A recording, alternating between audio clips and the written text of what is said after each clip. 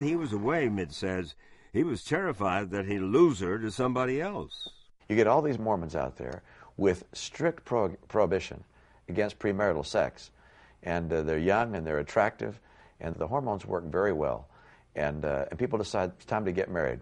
Did you have premarital sex with him? no, I'm sorry, we don't get into those things. The answer is no.